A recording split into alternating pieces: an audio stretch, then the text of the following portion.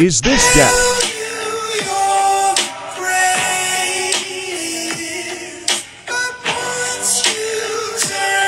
I thought I explained this pretty well last time. I didn't think I'd be doing this again. By powerlifting standards, we're not talking about 90 degree or parallel to the floor or whatever y'all want to talk about. The crease of your hip below the plane of your knee. Below parallel. This is a beautiful squat. Y'all take notes. Hip crease, knee. Hip crease, below knee.